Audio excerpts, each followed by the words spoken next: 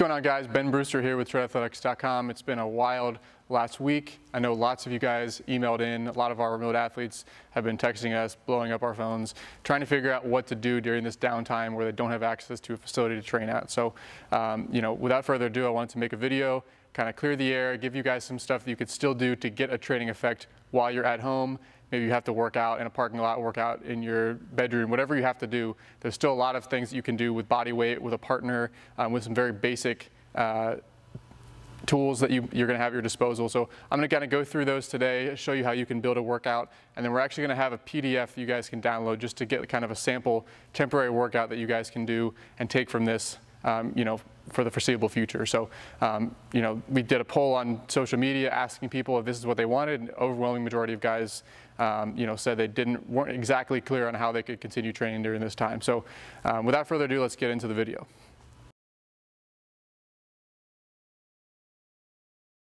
So, the first question that I want to address is, will will I lose muscle during this downtime? And the answer is assuming that this is kind of a two to six week process or period where you're not going to have access to a facility. Not really. Um, the, the residual effect of uh, you know, when, when, it comes to absolute strength, when it comes to hypertrophy, uh, the training residuals are quite long. So it actually takes quite a bit of time to see a noticeable decrease in muscle mass and in absolute strength. So for most of you guys, if you can continue getting somewhat of a training effect here during this initial period, uh, you shouldn't have to worry too much about losing any maximal strength or losing any muscle size. Now, again, if you completely do nothing for the next six or eight weeks, that will be the, the case but there is such a thing as muscle memory. Uh, from a biological standpoint where it is significantly easier to regain strength once you've lost it. So let's say you do lose five pounds here and you lose 10% off all your strength numbers, but then you get back to training in eight weeks from now and you have a couple good weeks in the gym it comes back very, very quickly. So uh, most people that have been training for five or 10 years understand this and have had this experience, uh, but it does come back quickly. And most of you shouldn't have to worry about this in the first place because I'm about to show you exactly what you need to do to maintain your strength in the meantime. So don't worry too much about losing muscle in this interim phase. So let's go first over some general programming principles to kind of give some context to the exercises that I'm going to show you because it's not just about randomly throwing exercises together. It's about having some sort of general process, some sort of logical process with how you program certain exercises, certain movements, um, how you incorporate those in a program. So I'll take care of this with a PDF for you guys to download, but I just want to give you some background on, on why we're doing what we're doing. So the first thing is there's a couple different ways to lay this out. Um, right now, most of you guys aren't in season, you're not competing, so we can treat this as kind of a mini off-season phase. Now, I'm assuming you're still going to be able to throw in kind of a higher in-season uh, volume as far as, you know, maybe bullpens, wherever what you have to do for, from a throwing standpoint, you're still going to be doing that. But we can, again, treat this as a little bit of a, a mini off-season phase where you don't have to worry about being 100% fresh for your throwing sessions because we're not in games right now. So that being said, the options are really a three-day split or a four-day split. Now, a four-day split, it's going to be two upper body days and two lower body days, and a three-day split, it's generally going to be either three total body days or an upper, a lower, and a combined total body day. Either way, the common theme is that you're hitting each major muscle group in your body twice per week. So that's the common theme. Again, there's multiple ways to kind of divide it up. Um, but let's, let's say we're talking about the quads. You're going to be doing some sort of quad type movement twice per week um, to stimulate sufficient hypertrophy, strength, power development, whatever the case, whatever the case may be, whatever your work you happen to be working on right now in your training. So um, that's just generally how these are going to be laid out. Um, for beginners versus more advanced, like for the, the professional guy that's watching this that has a very good strength base, a lot of this is going to be more focused towards kind of power development. And I would place more emphasis on the power exercises that I'm going to show you, the power variations, Whereas a lot of these beginner athletes, some of the remote guys that we've been working with, they've been spending a lot of this offseason working on building that general strength base because it does take several years to really build up that initial base to where you can apply a large amount of force. And then from there, it becomes much more about just maintaining that strength level and being able to apply that force as quickly as possible. So given what I'm saying, I'm going to have a PDF download, but it's going to be uh, necessary to kind of tweak that based on your specific case. More advanced guys do more power variations here, and the, the younger, maybe less advanced guys do more of the strength-based stuff here. That being said, let's talk real quick about different ways to progress exercises. So A lot of people think that resistance, adding resistance is the only way to increase the difficulty of an exercise, but that's simply not true. So there are still a number of tools in our toolbox that we can use while you don't have access to a facility. So besides just adding resistance and being able to put 300 pounds on a bar, there's still a lot of ways that we can progress something. The first way that we can progress an exercise is playing with the uh, type of contraction or the tempo of the movement. The main different ways of that being emphasizing the eccentric or the lowering phase of the movement. So this would be doing a slow lowering on a squat or a slow lowering on a push-up or a bench press or something like that. And that's going to make the, obviously make the exercise more difficult by taking some of that stretch reflex out of it, by giving you more time under tension. Uh, the other way we can do this is with isometrics or pause reps. So maybe you're doing a squat, you get to the very bottom of the movement and we pause, you do a hold for three seconds, or you get to the bottom of a split squat and you hold for three seconds, or the bottom of a push-up and you hold for three seconds. So adding isometrics and playing with that tempo of the movement can be another way to make the exercise more difficult without having to add a ton of external load. Then the final way to progress or change up an exercise um, that I'm going to talk about here is reactivity. So doing exercises uh, in a kind of a reactive fashion where the idea is to change direction very quickly to be able to absorb that eccentric, uh, uh, transition through the isometric and explode through the push-up or squat or whatever movement you're doing. Uh, so again, there's different ways that we can play with that type of contraction or the tempo of the movement. We can play with the strength curve. So if you have bands laying around or, or, chains, most of you might not have chains laying around, but if you have bands and you add that to, let's say, a push-up, you've just changed the strength curve of the movement. So instead of it just being your body weight through the whole movement, now as you get stronger towards the top of the movement, you're in a more advantageous position of leverage. Now the band begins to give you more resistance, and you have that resistance towards that top end of the strength curve. So it closely, the resistance matches the strength curve more closely. So if you have bands, that's one way we can add resistance and change up the difficulty of the exercise. Um, obviously, we can change from bilateral exercises to more unilateral. So obviously, if you have 200 pounds and you do a bodyweight squat, that's 200 pounds spread between both of your legs. But if you do a lunge, you're going to be able to take advantage of not having as much load available. You might only need a backpack with 50 pounds in it if you're doing certain lunge variations that I'm going to show you. So we can switch from bilateral exercises to more unilateral to kind of take advantage of not having a ton of external load available just laying around your house. Um, from there, obviously increasing volume, increasing the number of sets or reps that you do is another way to increase or progress in exercise. Uh, increasing the range of motion, so doing deeper squats with holds, uh, deeper lunges, extended range of motion push-ups. We can really play with the range of motion of exercises to increase the intensity or, or progress in exercise as well. And then the final way is mind-muscle connection. So as you're going through some of these exercises, you might not have a ton of weight, but really focusing on the mind-muscle connection, focusing on squeezing the muscles that you're working on contracting and really activating those muscles through the entire range of motion, through the entire movement. And they've shown that that actually does increase muscular activation if you have that active focus of, let's say on your push-up, that active focus on the pecs or, or using your upper back muscles to squeeze and contract into the movement and then firing and really focusing on feeling the pec fire. So they've shown that that does increase muscle activity to be able to really focus on the mind-muscle connection. A lot of times if you don't have a ton of extra weight, but you do really focus on the tension that you're creating. So again, those are the main ways that we're gonna kind of, the main variables that we're gonna play with here. And I have, again, a whole list of movements and exercises that we're gonna go through. So um, let's now transition to that. All right, so when building a program, what are the main types of movements that we need? Here's how I break it up in most of the programs that we write. So for lower body to start, we're gonna want some sort of hip dominant movement. This would be like an RDL or deadlift or glute ham raise. Those are examples of hip dominant movements where it's more glute, posterior chain, hamstring, uh, driving, the, driving the movement. Uh, we're also gonna want quad dominant movements. These are, these are things like squats, lunges, something where it's much more of a quad focused movement. Uh, lateral movement, so some sort of lateral lunge or something that engages the lateral lines in the body, the lateral lower half, uh, TFL, glute med, um, all sorts of these different exercises. So something basically working in each plane and working different aspects of the lower half. For upper body, we're looking at just a primary push and a primary pull. So push being like a push-up or a single arm cable press, and pull obviously being some sort of rowing variation, chin-up variation, something like that. Uh, we look at arm care. I like to have some sort of general serratus anterior movement, some sort of lower trap movement, and then some sort of posterior cuff movement. Um, we'll get into that as, as we go on. And then for core, typically some sort of anterior core, some sort of rotational core movement, and some sort of lateral core movement. So as you can see, basically trying to get a well-rounded balance of exercises that work all the muscles in the body in different planes of motion. So those are kind of the basics that we'll build the program around.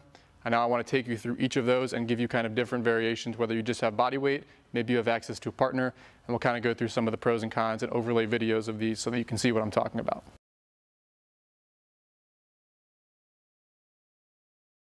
All right, so let's start with hip dominant exercises. Here's some good options that you can try. The first is to do a single leg or a bilateral uh, leg curl. Um, you can either do this with an office chair, something that rolls that you can put your feet up on, and you can do either two leg or even more advanced would be a single leg version. So again, depending on what floor surface, that might be very challenging with a single leg or it might be fairly easy for some of you with single leg. But again, that would be a good, a good option if you don't have a rolling office chair to kind of use instead of a yoga ball or a physio ball. Then you can actually do this with your socks or maybe even like pair of sweatpants on a wooden floor so it slides and you can do them that way as well. So leg curls are a great option. You can actually do this in a tri-set or a quad set where you descend from uh, single leg to two leg to then hip bridges to then hip bridges from your toes. So a lot of ways to make that a very challenging exercise that you can do from your home. All right, the next hip dominant exercise is more of a plyometric or power exercise, and that would be some sort of broad jump. So you can either do a broad jump upstairs, or you can do just flat broad jump, uh, you know, on outside on the floor or outside in the grass. Um, but again, this is just a good hip dominant plyometric movement that you can incorporate. Uh, I like to actually superset this with whatever your strength movement is. So let's say you're doing the, the leg curls from the previous exercise, you can actually superset a power movement of a similar uh, type of movement with the strength movement. So this is called doing a contrast set. So do the strength movement, then do the equivalent power movement immediately after that uh, as kind of a potentiation for that power movement. So hitting those muscles in kind of a, a higher intensity strength movement and then taking that uh, activation of those muscles, if you want to call it that, to a power movement is a good way to kind of work on both components of that uh, force velocity profile.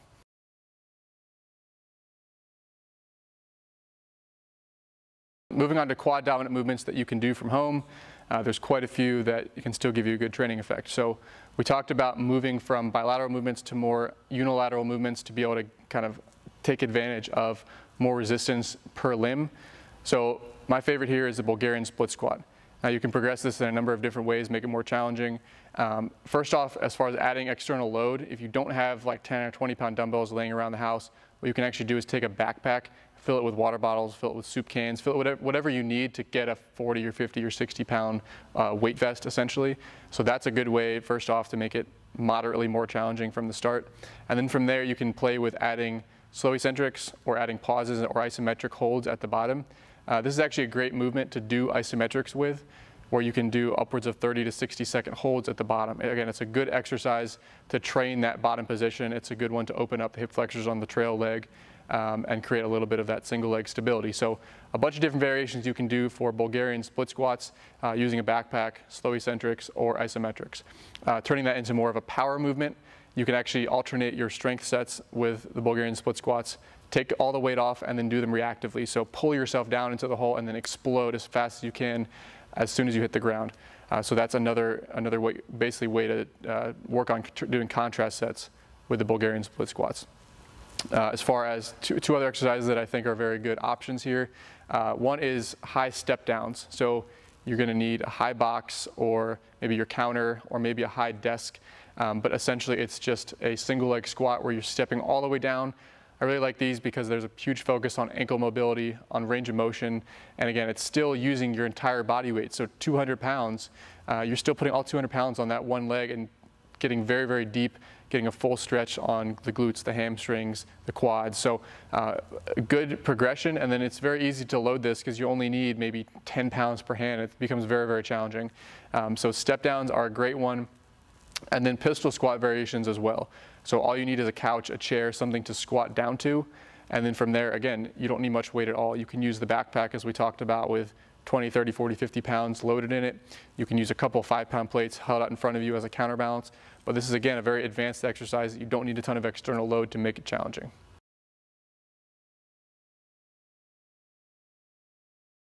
All right, moving on to lateral movements that you can do from home. Uh, the first one that I really like is the Cossack lunge. So basically it's like a goblet lateral lunge, but you're going extremely low on the movement. So there's emphasis on getting a good stretch through your groin, through your adductors, and really controlling the movement through that entire range. This is very important for throwers in general who tend to have very tight, wound up adductors in the first place. Um, but again, it's still a good strength movement and it still incorporates the lateral lines of your body um, as you go into the movement. So the Cossack lunge, you can make that more advanced by adding weight in the form of a back, weighted backpack, water bottles, you know, like we already talked about. You can add a slow eccentric, you can add an isometric pause at the bottom. So a couple different ways to make that more challenging. And then if you do have a partner, uh, something that I really like is a uh, manual resisted hip abduction. So I'll put a video up showing what that looks like. Um, but again, that's another way to incorporate uh, glute med training and incorporate strengthening of the lateral hip musculature, which very, very uh, useful and incorporated in throwing motion. So being strong in that frontal plane is very important as well. Now, as far as power movements that you can do in the frontal plane, uh, any sort of lateral jump is going to be a good option. So whether we're talking about lateral Heidens or medial to lateral jumps or uh, you know continuous lateral jumps, uh, there's a couple different options that I'm going to throw up here and put in that PDF for you guys to download.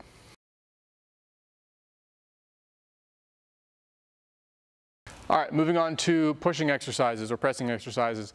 Uh, we're all familiar with push-ups. This is kind of the bread and butter movement that you're gonna be able to do from anywhere, even if you don't have access to a training facility. So um, first off, just basic weighted push-ups, load up a backpack, use that as a weighted vest, and again, use that to overload your push-ups and make them a little bit more challenging. If you don't have access to that, you can also go ahead and do assisted single arm push-ups. So I really, really like these because you can basically just bias a lot of weight towards one arm and you're just using the off arm for stability. So if you don't believe me, go ahead and take a weight scale from your bathroom and do a set of these and you'll see you're putting a ton of that weight on one single arm at a time, way more than you'd be able to do if you just put two arms on the scale and divided that in half. So you're really able to get a good strength workout there, a good strength pressing exercise by just doing assisted single arm work. As far as power pressing movements that you can do, uh, bar power push-ups are a really great option. Uh, because again, you can lighten the load and do it, uh, you can basically superset your heavy sets with push-ups with a much lighter set done for speed. So on the bar push-ups, really think about pulling yourself down into the hole and then reversing the direction of that as fast as you possibly can and throwing yourself off the bar. Um, so really good to do those kind of paired with, paired with each other as kind of a contrast set. Um, medicine ball passes are great if you have access to a medicine ball, if you have a place to go outside, your backyard, whatever, and do that. Um, I'm assuming most of you won't, won't be able to necessarily do that. And then Valslide push-ups are another great option, another way to basically bias a single arm type push-up and put more of that weight on one arm at a time. So basically just take a sock or a pair of sweatpants or something that slides on a wooden floor. And then again, your off arm is kind of the support arm, the, the arm that moves, um, while the main arm is handling much more load than you would in a regular bodyweight push-up.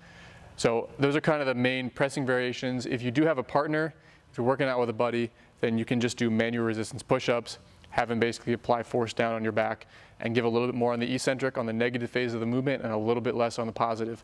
Um, but again, that's kind of the obvious way if you do have a partner.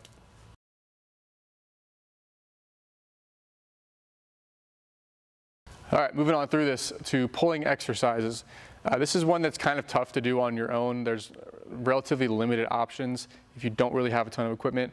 Um, I will say that if you have a band um, that you can kind of attach to something, attach to a pole and do band cable rows, that's a good option.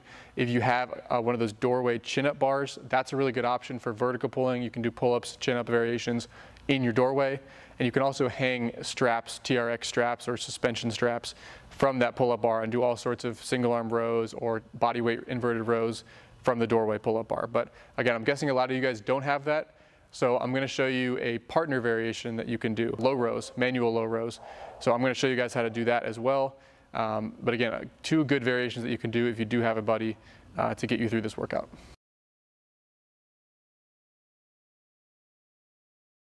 When it comes to some sort of core movement, uh, for anterior core movements, I like more advanced plank variations. So you can lengthen the lever arm on the plank uh, to make it a little more, more challenging. Uh, make sure as you do this, you're not feeling it in the low back and you posteriorly tilt the pelvis, squeeze the glutes, and brace the abs hard. Um, if you, again, do the more advanced plank variations, you can add weight on your back to make the planks more advanced. Um, or you can also do uh, body saws. So using your socks, sliding on a wooden floor, um, go ahead, go through a body saw. It's uh, already a very advanced exercise uh, that you can really much, really pretty much do anywhere that you want. Um, so planks and body saws, As far as a rotational core movement, uh, renegade rows are kind of a go-to that you can do. If you don't have dumbbells to do the renegade rows, then you can just do uh, alternating uh, plank holds basically, where you lift one arm off the ground at a time and it becomes basically a, rotary or an anti-rotation core movement um, that incorporates a little bit more obliques into that movement to resist rotation uh, at the pelvis and torso. And then finally, uh, lateral core movements that, that would be a good recommendation, a good option here to do from home uh, would be adductor side planks. So this is kind of a combination side plank and Copenhagen exercise where you are getting some isometric activation of your adductors. Again, very, very important for rotational athletes, for throwers, um, but it's still incorporating the lateral core musculature um, and it's still sufficiently challenging um, for the sake of this home workout. So those are some good core movements uh, that I would explore in these, uh, in these workouts.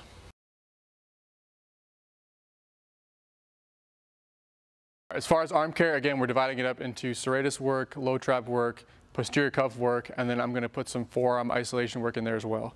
Uh, for serratus work, wall slides are going to be your best bet here. You, again, you can do this from home, you can do this anywhere, just need something that can slide against the wall. So uh, again, those are very good option for serratus work. As far as the low trap, if you're working out by yourself, uh, prone Y and T raises are going to be your best bet. You can use whatever you've got available from two pound dumbbell to a soup can to uh, a water bottle, uh, whatever you've got. Um, you can add iso holds here. You can add slow eccentrics. Um, you can also do oscillating reps. So turn into a little bit more of a reactive movement as well uh, at the very top end of that movement. So a lot of different options you can do with just your basic prone Y and T raises. Uh, if you do have a partner to work out with, then you can actually add some manuals here. So you can do kind of a diagonal D2 uh, or Y pattern uh, manual where you add a little bit of overload to the eccentric, so a little bit more resistance on the way down and a little bit less on the way up. Uh, for the manuals, uh, one thing to be aware of is that you do want to make sure you're, at, you're properly matching the strength, the, the resistance to the strength curve. So don't just press straight down on their arm as they're going through that movement or have your buddy press straight down on your arm. The resistance should follow the curve of the movement. So it's, the resistance changes in, in regards to the arc that you're going through in the movement. So it should be perpendicular to the movement. So if you're going through a D, uh, D2 pattern, the resistance isn't just straight forward or straight down the whole time. The resistance from your buddy should follow the arc of the movement as you're going through it.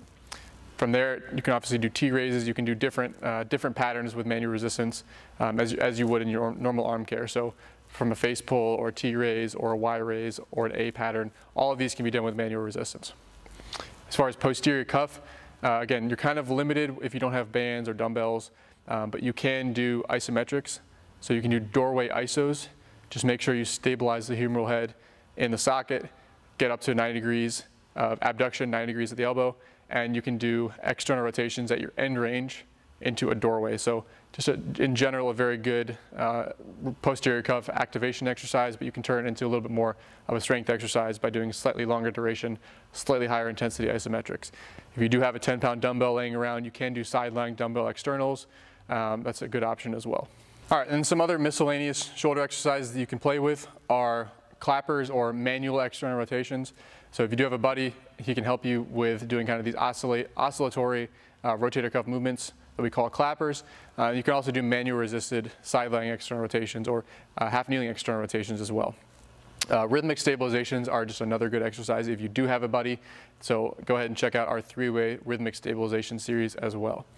When it comes to forearm isometrics or just forearm exercises in general, uh, depending on what you have, there's a couple different ways to do this, but in general, we're basically looking at doing some sort of six-way forearm series. So again, we're looking at uh, wrist flexion, wrist extension, uh, forearm pronation, forearm supination, radial deviation, and ulnar deviation. So six way forearms. And you can do this a couple different ways. If you have a band, uh, that's an easy way to do that. We'll show you all those different movements here uh, down below on the video. If you have a, uh, some sort of like baseball bat or stick or something that you can hold in each hand, you can actually do manual forearms yourself. Now this is a little bit more uh, in depth, so we're going to link to a more detailed video on how to do that in the description. Um, but again, you can do manual forms where you are working out one form at a time and using the other arm, the other hand to provide that resistance. So again, a little bit more technical, but uh, manual forms are possible by yourself. Manual forms are also possible if you have a partner. So uh, again, if you're doing this with a buddy, very easy way to get uh, good forearm strengthening through that entire range of motion on all six of those movements that we covered. Um, so again, this is just an overview of a bunch of different exercises that you can do from home, kind of broken apart by if you have to do them solo or if you have a buddy available. Um, these aren't the only ex exercises that work that you can do, but this should give you a pretty well-rounded uh, way of training your body to maintain strength, maintain power output in this interim.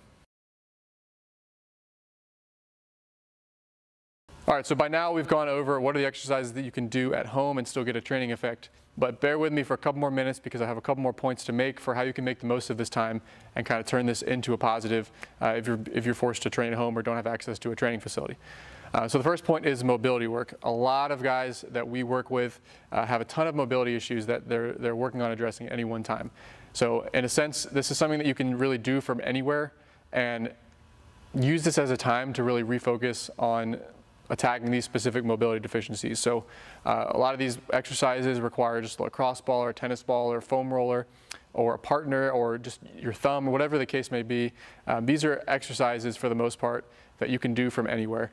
Um, so you, again, take advantage of this opportunity and maybe some of the downtime you might have and really refocus on your mobility. Ask yourself, um, I'm assuming you have gotten an assessment, but assuming you know what your deficiencies are, what your issues are, um, kind of map out a plan for what you're going to do over these next two, three, four, six weeks, however long you don't have access to a facility, um, and really make the most of this time from a mobility standpoint. Because a lot of guys, their limiting factor on that lowest hanging fruit isn't necessarily their strength.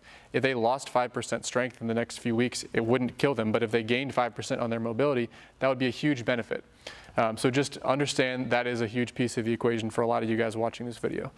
Uh, and then finally, tissue areas that, that you really should uh, kind of refocus on and make sure that you're taken care of. Um, a lot of the common areas that we see, TFL, glute med, uh, the adductor complex, adductor magnus specifically can get really tight, gritty, nasty in a lot of throwers. Uh, psoas, uh, pec minor, subclavius, uh, lat subscap get really gritty, really, really nasty in a lot of throwers that we see. Uh, tricep, especially the long head of the tricep, can really limit shoulder flexion, create shoulder pain. Uh, pronator can be a cause of elbow pain. Uh, upper trap scalenes can be a cause of neck pain, can get really gritty, tight on throwers. And then just taking care of your posterior cuff uh, tissue quality. Uh, again, those, can, those are all just common spots that you're really gonna wanna make sure you're taking care of, especially if you've had any sort of nagging mobility issues or arm pain or neck pain or back pain. Uh, again, just make sure you get assessed and you know exactly what you're doing and what your deficiencies are from a mobility standpoint so you can make the most of the next uh, foreseeable future. All right, so what about from a speed and conditioning standpoint? Well, this is one that shouldn't really change much for most of you guys because, again, we're talking about sprinting variations. Uh, you can do hill sprints, you can do stair sprints, um, you can do loaded pushes. Uh, I've seen car pushes uh, done as kind of a sled variation. If you do have something you can kind of create your own sled, I used to do tire, tire sled drags in high school. Uh, in my backyard, that worked great. Um, you can do bike intervals if you have a stationary bike. You can do treadmill intervals uh, if you have a treadmill. So there's a lot of different options from a speed and conditioning standpoint. Um, again, not that that's the highest priority for a lot of you guys uh, as throwers, but again, that still should be in your weekly uh, training cycle. So that isn't something that should change much based on equipment availability. And then finally, I want to make a note on nutrition. So uh, if you are in a period where you're having to train in kind of a maintenance load, you're not able to necessarily uh, do everything that you, you were able to do in the past or train at that near that same capacity. Um, and this goes for most of you guys who were already in season anyway. You should be eating in a caloric maintenance. So don't be trying to put on a ton of muscle mass in this period of time. And if you're trying to cut body fat or lose weight, uh, again, it might not be the best idea to try to cut 10 pounds in the next four weeks if your training stimulus isn't going to be sufficiently strong. So look at this next period, however long it ends up being, as kind of a maintenance, uh, a maintenance time for as far as nutrition, where you're eating in maintenance calories, focusing on, on good food quality, um, you know, and focusing on good sleep quality as well. But again, the main point here is if you are able to kind of organize a good training program, you shouldn't have a problem with losing strength. If you lose a couple percentage on your strength, it's not going to matter. It's going to come back very quickly. But again, hopefully this gave you guys some ideas. And I, I will make sure to link a PDF down below uh, so that you guys can kind of print that out and follow it and have something to, to go to uh, to address all these questions we've been getting. Uh, that being said, guys, if you enjoyed this video, make sure to uh, subscribe to us on Twitter at Tread Athletics, Uh, make sure to like this video if you're watching it on YouTube and subscribe to us there. And again, if you guys need help with any of your training, uh, we are a remote training company. That's what we do. That's what we believe in. This is all we, all we think about all day is how to train pitchers, how to improve their bodies, how to improve velocity, arm care, all this good stuff. So we've worked with over 650 pitchers now since 2015. We've had over 27 athletes drafted since 2017 alone. Uh, so again, this is what we do. If you're kind of stuck in your own training, you're not sure what to do, or you want a more customized program in this interim, uh, make sure to email us at contact at and we'll get you taken care of.